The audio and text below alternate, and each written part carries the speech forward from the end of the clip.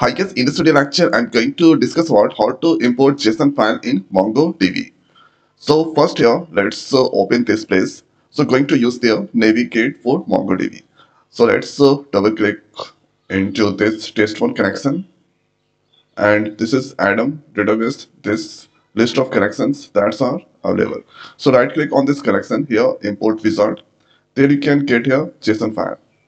So select the JSON file, click on next. So there you need to select all the JSON file.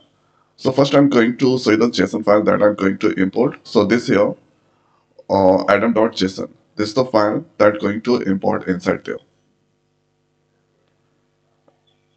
So let's close this and now here right click on this collection then import wizard and here select the JSON file.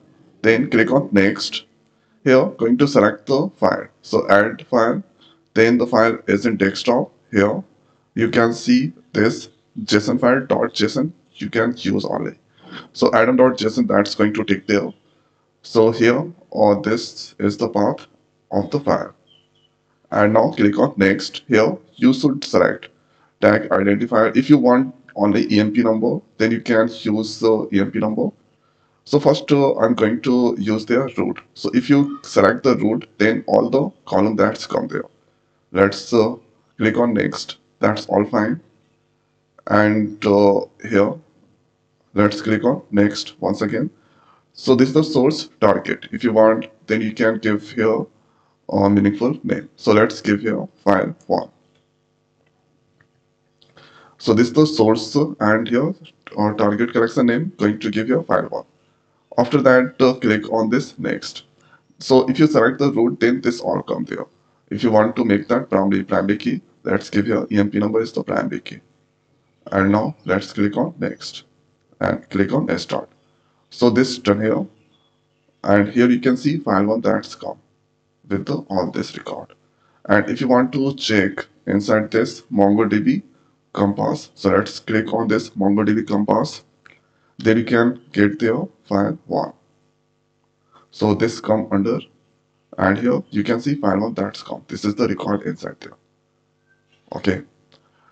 So the next is if you want to select the any particular column if you don't want this all so you have the option right click then import wizard. Again selecting this json file. Let's click on next. Here add the files so let's add files, give the file name adam.json is the file name. And this all looking fine and here. So if you want EMP number, let's select EMP number and next and let's give the target collection name file 2.